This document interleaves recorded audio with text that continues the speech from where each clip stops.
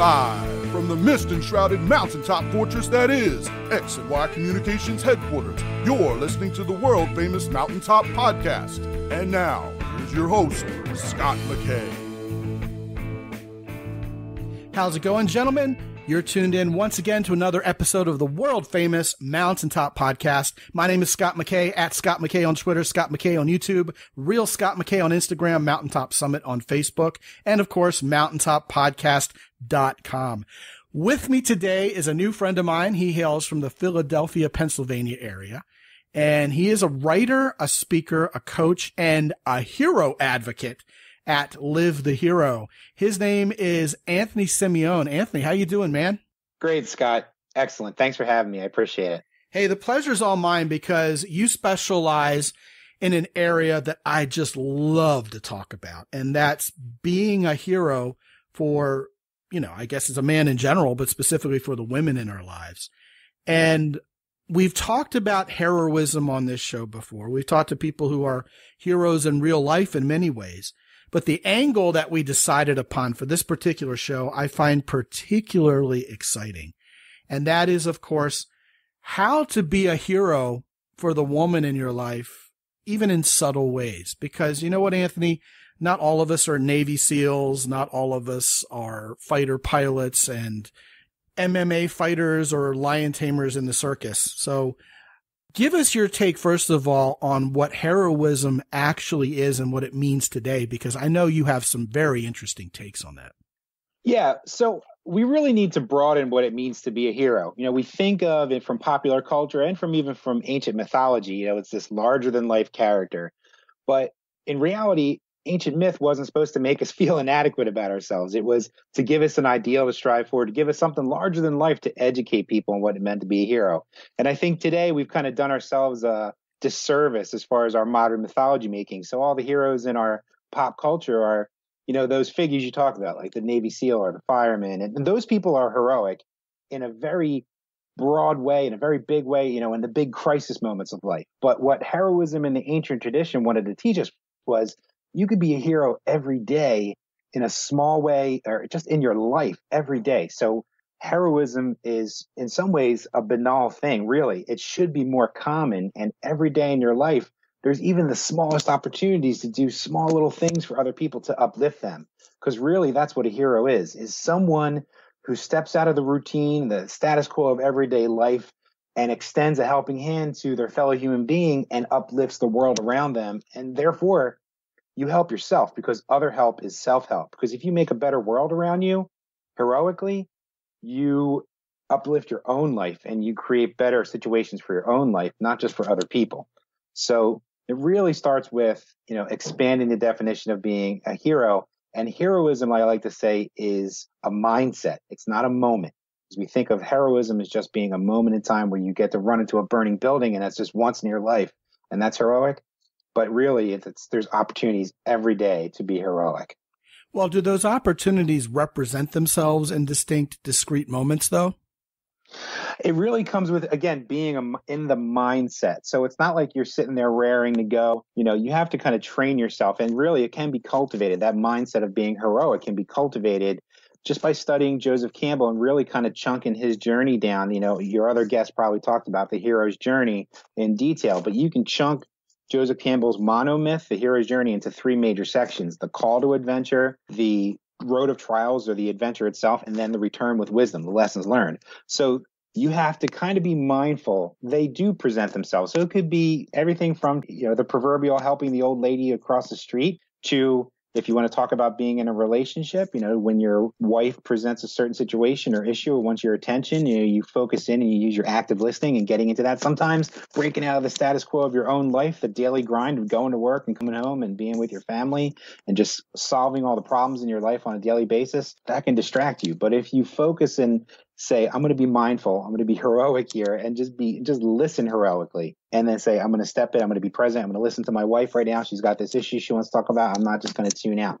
So even those moments in life you can see that as the call to adventure you know here's there's something stepping up here there's a situation here how am i going to choose to address this? Am i going to tune out and just go along the the rut of my status quo of my life or am i going to step out and really pay attention to this present moment So the mindset is such that, hey, you know what? I'm going to be a man who's ready to lend a helping hand and be of value to others such that when the moments actually do come up, it's almost automatic that you step up. You don't even have to think about it. Am I on the right track? Yeah, exactly. And I think we have a lot of cynicism that we're getting fed through the mass media and through, you know, we have something that we evolved called the negativity bias, you know, the survival mechanism that gets keyed up and fired all the time. You know, we were talking about the saber-toothed tiger before we got on the the call today and the recording and the saber-toothed tiger is in our homes right now because through our TV. You know, there's not the saber-toothed tiger outside the cave anymore, but we still have that same ancient brain in the modern world. So the negative news cycle stimulates that all the time. So we're constantly amped up and kind of living from moment to moment, not really keeping our heads down and just thinking about, you know, survival. But the hero's journey makes us human again. It makes us be mindful of, okay, I have to step back, not just run the rat race and take a moment to consider my life and observe and kind of detach for a moment and be a little stoic not in the stuff your emotions down way, but in the okay, I'm going to take control of this moment. I'm going to focus on what I can and cannot control and really be present. So it's that balance between that survival mechanism that kind of shuts our minds down and then the what the ancients wanted to teach us in mythology to like wake us up and to be just to be present is to be heroic sometimes, you know, rather than just wrapped up in our own daily grind you know, when you're wrapped up in your own daily grind and you're inside your head so much, you start being more selfish. You start thinking about yourself and, you know, looking out for number one and self preservation. Whereas heroism is by definition very generous and selfless. You're looking in a compassionate way at how you can help other people. Maybe not forcing it on them or anything, but looking for those opportunities where it's going to be welcomed instead of being oblivious to it because you're so buried in your own stuff. And you know, that's something that I think is worth bringing up is this idea of compassion actually being a very masculine trait because in order for there to be a hero, there has to be a recognition that someone else is in distress and empathizing with their position and wanting to help that pain stop. Now, that can be as simple as the pain of a woman not being able to reach a box of cereal at the top shelf of a grocery store, you know. So, I mean, obviously there's minutia in daily life, which very much supports your idea of heroism being an everyday, almost mundane mindset in, in preparation possibly for the day where you have to, you know, pull someone out of a car wreck. But I love that about what you said. Another thing that you said that I want you to elaborate more on is this idea of modern myth making. Now, I think we can all read the Iliad or Homer's Odyssey and you know, realize that that's the kind of myth that aforementioned Joseph Campbell would talk about in Sight. But of course, Hollywood has latched on to that hero's journey mindset big time because it's very marketable and it frankly makes for wonderful movies. I mean, you've got Star Wars, which is a classic hero's journey. You've got a guy who's plucked out of nowhere and expected to do something great and he just doesn't feel ready or prepared for it. And of course, he rises up to the occasion. He conquers this horrible enemy that's out to destroy the world, gets all the glory at the end, gets the girl. Hero's journey comes full circle.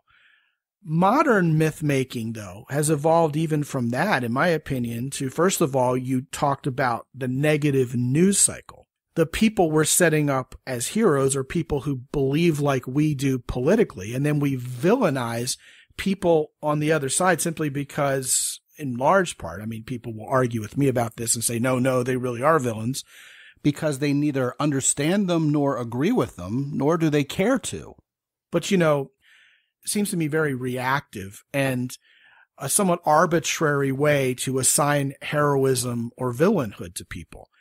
And on top of that, you've got Hollywood really specializing nowadays in creating anti-hero figures.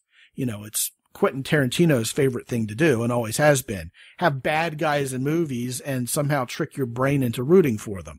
And since then, and certainly there have been examples before, but nowadays more than ever, it seems like almost every male lead in a movie or even on TV shows is more of an anti-hero than a hero, almost as if, hey, this guy's very good at getting away with rather non-heroic things and I'm still rooting for him anyway. I mean, you got your Breaking Bads of the world and Mad Men of the world and, and countless movies we could cite. What's your take on all of that? I mean, this modern myth making. I want to hear much more about that. Yeah. So, modern myth making in terms of Hollywood, you know, yes. I mean, the reason why we keep creating heroic stories is just because there's something intrinsic in us that wants to be. I think there really is. Uh, we are really evolved to be compassionate creatures because we only became the dominant animals on the planet and the beings on the planet and rose to consciousness because we cooperated. We're not good animals. We don't have claws. We don't have night vision. We don't have sharp teeth. We had to cooperate to become the dominant species on the planet.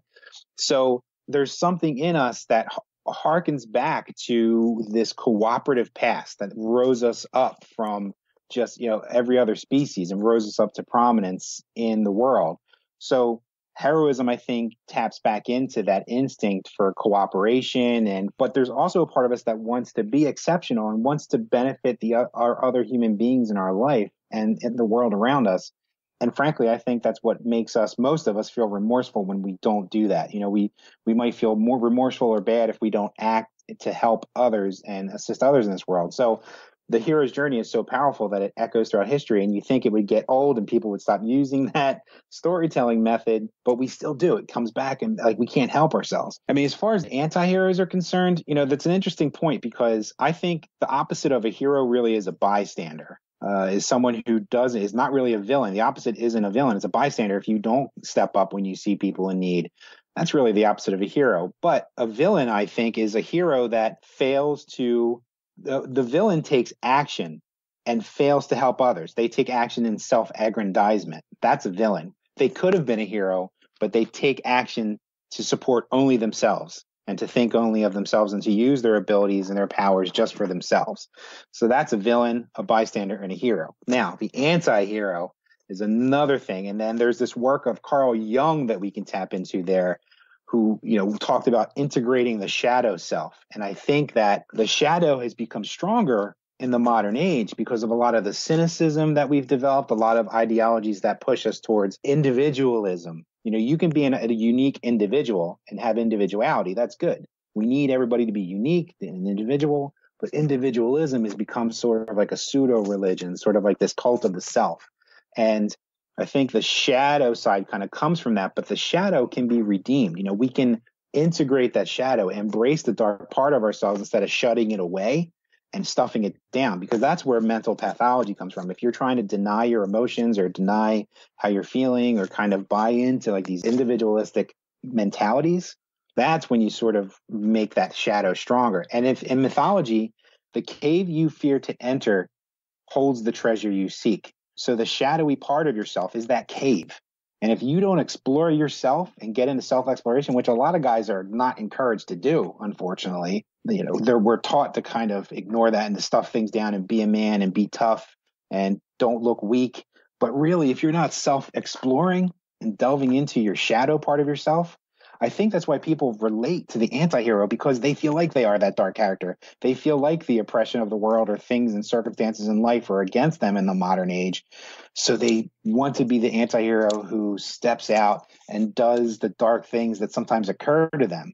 Because if you don't go into that self, into that cave that is yourself, you won't find that treasure of self-actualization, self-efficacy, uh, self-esteem. You know, we talk about self-esteem and sometimes that's a dirty word but self esteem doesn't come from just being that you're a special snowflake and you're special because everybody is. It comes from self efficacy, looking for the skills and the talents and the things that make you who you are and cultivating them. Self efficacy gives rise to real self esteem.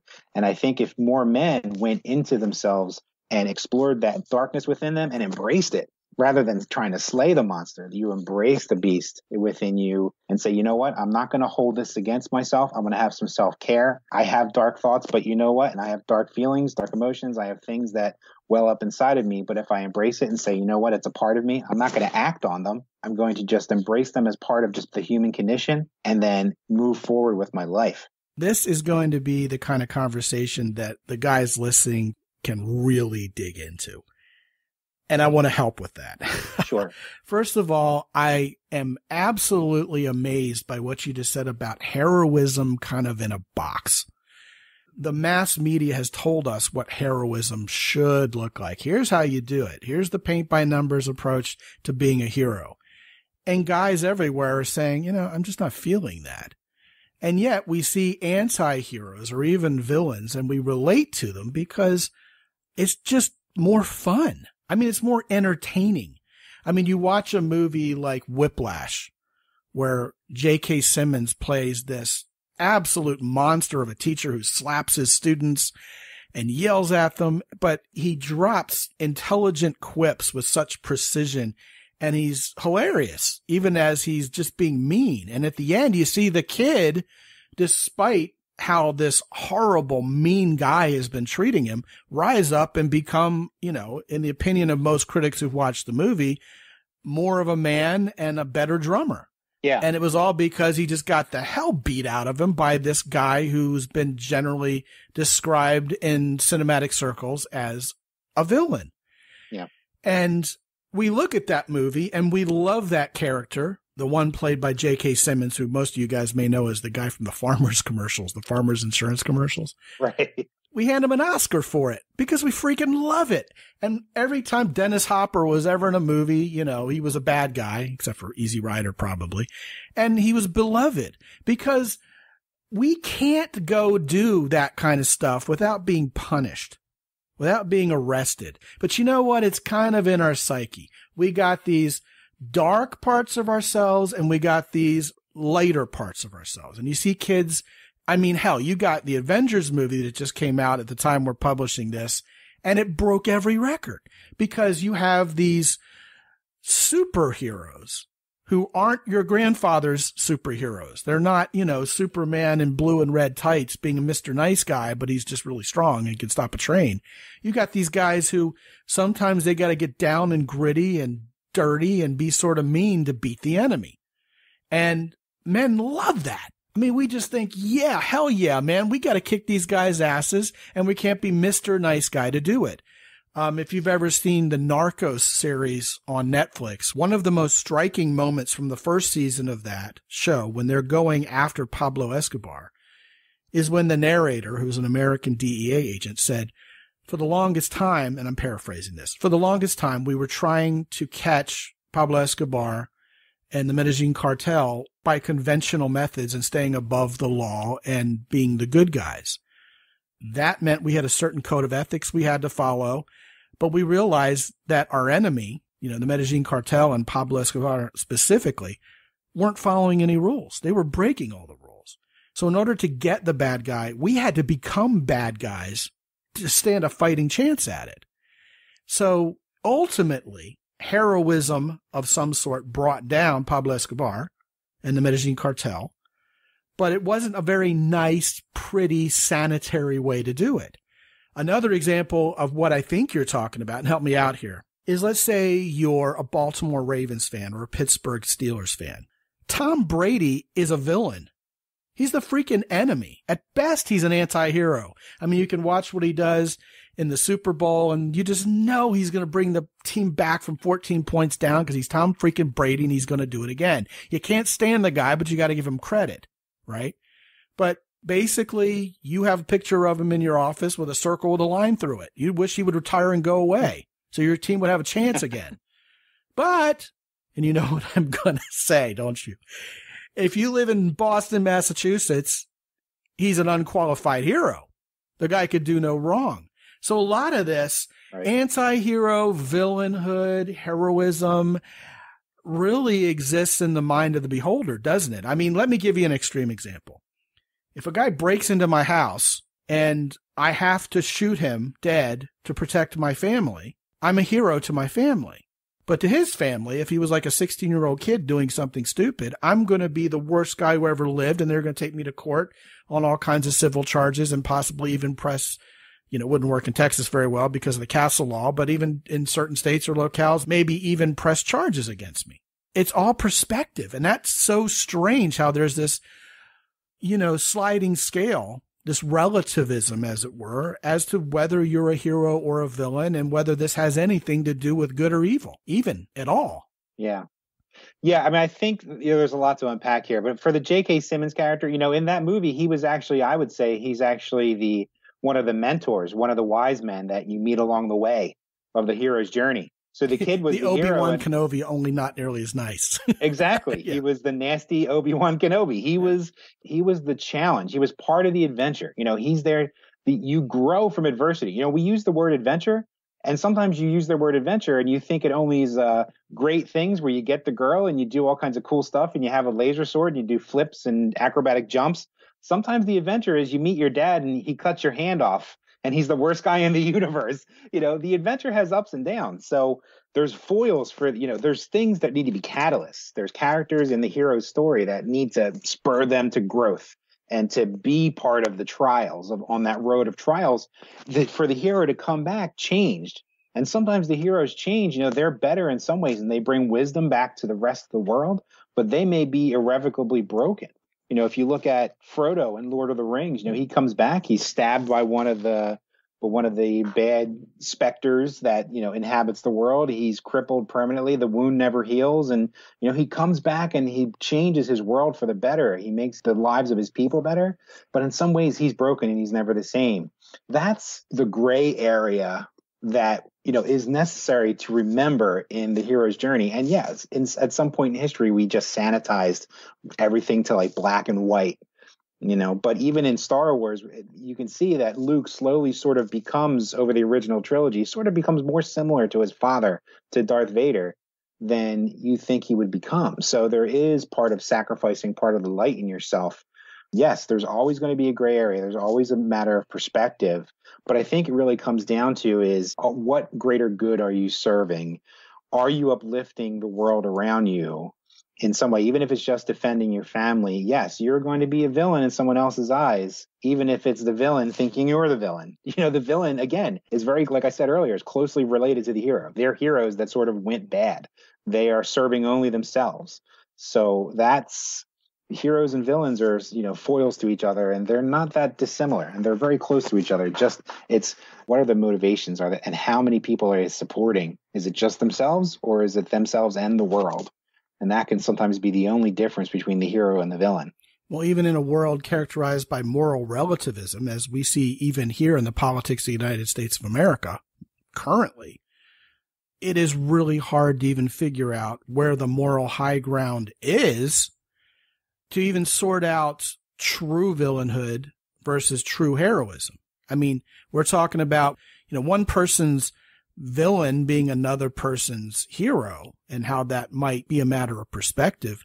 But even the ethics, the mindset and the values of one particular person to another is relative. I mean, there was just a video on last night where someone was taking videos in front of an abortion clinic and calling the people there who were praying for people who went in there the evil ones who were the non-Christian horrible people who needed to repent from a Christian perspective. So, you know, even within one faith, there are massive, massive differences of opinion with regard to what is inherently right and what is wrong. So I think it's amazing you would bring that up because it's going to make guys think. Another thing you brought up was this whole idea of adventure. And interestingly enough, we had another guy on this show talking about adventure, Derek Loudermilk, who runs Art of Adventure. Mm-hmm. And we defined adventure together as getting outside of your comfort zone. Absolutely. And I think it's very curious and perhaps not a coincidence that you talked about heroism itself with the same vernacular. I mean, it's getting out of your comfort zone, getting out of your little safe place and lending a hand to others, even when it's uncomfortable for you. And that is by its very essence, by definition, adventure unto itself. So a hero is an adventurer. I would say not all heroism is adventure. Maybe not all adventure is heroism, but they definitely go hand in hand, right? Yeah, I think you cannot be unchanged if you go out into the world. You sometimes we need to force ourselves. We live in such an age of comfort and you know, we've given ourselves this illusion that we don't need each other. We give ourselves the illusion just because of our incredible technological convenience that we are islands unto ourselves a lot of times. That's why I think a lot of guys slip into these mindsets where they get very cynical and they become very down on humanity.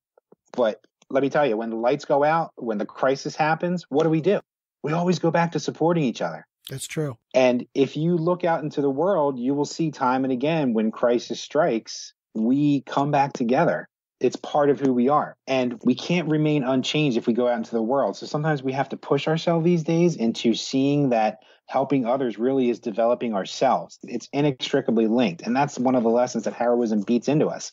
You know, we have to, it reminds us through the stories that come back over and over that we tell that it's you going and helping others is self help and vice versa. Helping yourself, being a more disciplined, empathetic, compassionate, active, resilient person can't help but influence some part of your world. And sometimes we need to pick our battles and we need to really focus on what we can change. Usually we can only control how we react to situations in life. Maybe we can't control the situations, but heroes look to solutions intrinsically from within and how can i change my reaction to this and one of my idols is viktor frankl you know he was uh, in yeah, his family search for meaning yeah, man search for meaning. Sometimes all you have left is your own hope for the future. And it's amazing what he went through. And he saw the other prisoners in the labor camps, the, those that gave up hope for the future, they're the ones that withered away and died. And just for the guys who are listening who may not be familiar with Viktor Frankl, he wrote from the position of being a prisoner in a Nazi concentration camp. Yeah. Where you've lost everything. Yeah. He lost everything. But what has sustained him is that, first of all, whatever you do in life, your accomplishments, they can't be taken away from you. And if you have pride in yourself and you go out and have been living a fulfilled life, you can lock those things away in your memory. They can never be taken away. So your accomplishments, you can be stripped of all of your human dignity, but they can never take away until they put you to death, unfortunately. But even up until the last, you have your pride in yourself and your accomplishments. But also, if you have hope for the future and if you put faith back in the highest common denominator, as I call it, in humanity, we've made it this far, we've survived this long despite atrocities over the ages. You know, there is something about us that survives and can also thrive beyond that survival. So, you know, all of those things go into heroism that make it a powerful tool that's timeless. And I'm not surprised that I echoed the same vernacular from this other person because you delve into heroism enough and into the heroism science and into the literature of Joseph Campbell and everything everybody else who's contributing to this corpus of work, you, we all start saying the same things just by dint of studying it. So it's an amazing discipline. Isn't that something? You know, you brought up Viktor Frankl right as I had on my mind the idea that it's been widely discussed in the news media and in op-ed pieces that perhaps America is so divided amongst ourselves because we're not facing any real crisis. You know, in World War II, we were all together. Shortly after 9-11 happened, we all banded together. One of the quotes from right after 9-11 that's always stuck in my mind, and I can't for the life of me attribute it to anybody right now, was that the terrorists went after United and American, and they ended up with United Americans. And I always thought that was cool. You know, the airplanes that were hijacked were from United Airlines and American Airlines. And yet right now, it seems like people are looking for a way to be a hero. And when there's no outward enemy per se or something that's just a real baleful influence on this culture that must be defeated, we go mm-hmm. looking for it. And in the absence of that coming from an outside place, we start eating ourselves alive. And I think that's really unfortunate. And people could argue, okay, well, look, climate change, et cetera, et cetera. All these things deserve our attention, but they're not things that we should destroy each other over. We, we should be able to be united Americans about that. Mm-hmm. Couple last things to wrap up here. I want to get your quick opinion on. Kids see all these superhero movies. And do you think it in any way, shape, or form makes them feel like I can't stand up to that? I can't be heroic in small ways because what's been demonstrated to me is something no human can attain. Mm. Or does it in fact empower us to want to be heroes, even if we're seeing it portrayed in front of us on such a grand scale? I mean, can it go either way or is it one or the other? I think for children, we have that sense of wonder still. You know, we're not as cynical as when we become adults. So for children, I think that heroic stories are purposely larger than life. You know, they always have been. Look at the stories in ancient Greece and Rome of all the ancient the gods and the demi-humans like Hercules, you know, we need to be entertained. Human beings have this need to be entertained. We get easily bored. We have this thing for novelty. So at the same time, you know, we can be educated. We need to be entertained and educated. That's that's how the ancients educated their children. There were no formal schools. It was you got taught through plays, through performance, through theater. And it, so it had to be larger in life to keep your attention. So then the residual, the how it made you feel would last after you stopped watching it. So then what lives on is the kids' impulse. You see after a movie, they want to fly around, they want to, you know, put a towel on and they fly around like it's a cape and they go out and they fight with their friends and heroes and villains, good guys and bads, cowboys and Indians. So that I think for children, that residual wonder and that you know the basic structure, the impulse towards heroism and compassion and empathy stays naturally to them. I feel like for adults consuming it, yeah, we may get cynical, but I think if we allow ourselves in this day and age to really look for that innocence we had again and go back to what I keep calling the highest common denominator. No matter what your religious stance, you can be from atheist to evangelical Christian. If we all reprioritize community, reprioritize the shared humanity we all have, you know, I think that's the tool, and the path that I try to use when I talk to people to get through the political rhetoric. And honestly, everyone in the political spectrum has used this demonizing factor to try to, you know, jockey for votes. And I think they have done a disservice. All sides of the political spectrum have Nobody's done a disservice. Nobody's blameless on either side. Exactly. Yeah. Exactly. So it's the humanity we have to get back to. That's the shared common denominator that is universal. You know what's really hilarious is if I show my son and daughter Nitro Circus videos right before a big race, they ride harder. so I, right. I agree with you a thousand percent. Yeah you know, if they're watching Travis Pastrana do crazy things in a, you know, semi truck, then they go out and they kick butt on a more massive level on their BMX bikes at the next race. No doubt. Exactly. Yeah. Exactly. Here's the million dollar question. We obviously can't be superheroes. We can't be larger than life every moment of our life. And in many ways, what you've been talking about is the celebration of the mundane as heroism. So with that in mind, we have a bunch of guys here who want to be heroes to women. What does that mean? And what are some of the examples that we can look toward doing on a daily basis? And I fully understand in that context, you said it's not about the moments, but we need to throw some candy at this parade and give guys kind of a visual example of what this looks like you know, it's not about what some people that are more negative about the male female relationship these days. There's lots of guys that are pickup artists and things, and they kind of just have reduced the male female dynamic as being just an interplay and exchange, just, you know, a sexual exchange. And they really kind of debase the male female interaction. And I think what heroism can teach us is that, first of all, it's back to humanity. There's a divine spark in us. No matter where you think it comes from, whether you think it comes from a god or just from chemicals or whatever you think it is, it's first of all the respect for a woman as a human being. And it doesn't have to mean that you're a white knight. A lot of people kind of just go either or. Either you're a Chad, as they call them, or whatever, an alpha male, whatever you want to call it, or you're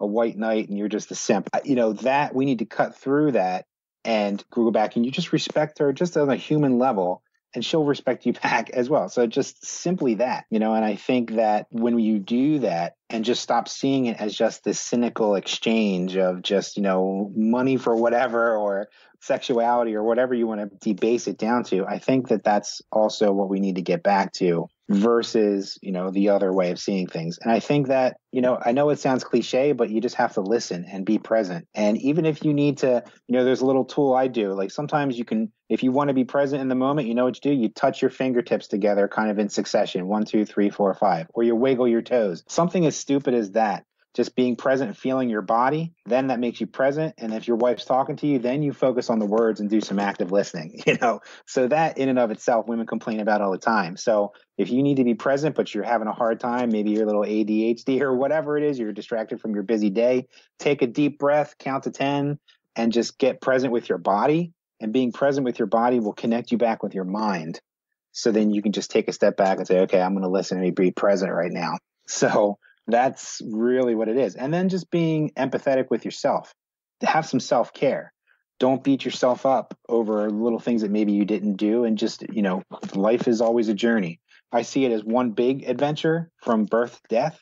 But then along that rim of that circle of birth to death, there's all those little small circles that are the opportunities to take those little journeys, you know, where you say, okay, I'm going to use the structure of the hero's journey as a tool. My wife's trying to talk to me. That's a call to adventure. I be present. Just use that as a mindfulness tool. We use that word mindfulness a lot, but it really is a great tool. Kind of just be present. So I think women would really appreciate that. And that's just, that is like more than half of the battle, I think, most of the time. on everybody's tombstone are two dates with a dash in the middle. What are you doing with the dash? Because it's a long dash in between those two dates. Yeah, that's a great way of putting it. Several things there that I want to comment on. First of all, a transactional relationship is not hero ball. I mean, if you're, if she's there to get money out of you and you're there to get sex out of her, well, you know, that's clearly not being her hero. You know, another thing you mentioned was women valuing a man who listens. And a lot of guys misunderstand that thinking, you know, she wants me to obey her and cut off my balls or whatever. No, you can't know a woman's dreams, fears, wants, needs unless you listen to her because then you can be a provider. Then you can be a protector. Then you can perform the magic of helping her feel safe and comfortable in your presence, which is credited to you as heroism by nearly every woman. She doesn't need you to be Iron Man. She doesn't need you to be the heavyweight boxing champion of the world. Hell, as much as they like to put fireman calendars up, you know, in their cubicle when they're young and working their first job, she doesn't need you to be a man in uniform. It's nice, but it's not necessary. Yeah. What she wants you to be is someone who can help her relax, feel safe so she doesn't have to protect herself, look over her own shoulder, have her own back. And in return, she's freed up to give you all these feminine gifts. You're making the world safe for femininity and women will always credit that to you as heroism, I've noticed. Great conversation. Anthony, when I send guys to www.mountaintoppodcast.com front slash Anthony, A-N-T-H-O-N-Y, they're going to be teleported to Live the Hero, which is your website. What can they look forward to when they get there? If you go to Live the Hero and you subscribe to my blog, you'll get all the updates on my blog posts and you'll get a few freebies there. So there's sort of a manifesto of heroism and what it can do for your life there. There's a calendar of about 30 days of challenges that you can go through that you can every day you can kind of go through a different aspect of heroism, you know, think about who your heroes are for inspiration or think about times when you acted heroically and just prime yourself to kind of be in that ready state to kind of live heroically every day in some way. And there's free materials there that I think would really benefit men just to kind of get started. And then from there, they can kind of check out some of my videos. They can check out my blog posts. I also write for a website called the Good Men Project. There's a link from my front page from Live the Hero to my articles on Good Men Project. There's a great bunch of material there that I've talked about with my column. It's called The Heroic Man. So that's the place they can go, get some free material, get some things to focus on, and to start their own mindful hero's journey in their own life. You know, Anthony, I think your message is an incredibly valuable one and more men need to hear it. So, uh, gentlemen, go to www.mountaintoppodcast.com front slash Anthony and get you some. And Anthony, man, what a pleasure. This has been a conversation that was on point in so many respects. I think it's not only deep, the material you've shared today, but I think it's something that gives guys a lot of food for thought and hopefully will make them stand up and cheer and say, you know what? I can do this thing. I can be a hero not only to the women in my life, not only to my children, but to everybody I meet and feel good about it. And uh, I especially love the idea of really sorting out for yourself what heroism means to you, what you're willing to fight for, and what you really think the world needs to be relieved from, and not necessarily listening to every negative voice in your head and uh, seeing it all as an adventure. All of it's wonderful. Thank you so much for joining us today. Thanks, Scot. It's been a real pleasure. And guys, check it out. We have all the show notes from this show and all the others, pictures of our guests, and uh, free downloadable ebooks and reports that you can get all over at www.mountaintoppodcast.com. I've been talking to lots of you guys absolutely for free. What you're doing is you're signing up for 25 minutes with me at www.mountaintoppodcast.com. And we're talking about what's going on in your life, what your sticking points are, and how to get over those hurdles and start getting better with women and being the man you've always wanted to be, uh, being the hero you've always wanted to be. So you can be next. If you haven't talked to me yet, go to www.mountaintoppodcast.com, click that button in the upper right hand corner, and let's get on the phone and chit chat with each other you'll find me to be exactly who you think I'm going to be. I don't play some fictional character on this podcast or anywhere else. My driver's license and passport say Scot McKay on them. And as always, as well, gentlemen, thank you so much for supporting this show with your ratings and your reviews on iTunes. I look forward to hearing from more of you guys there also. And until I talk to you again real soon on the next episode of the Mountaintop Podcast, this is Scot McKay from X and Y Communications in San Antonio, Texas. Be good out there.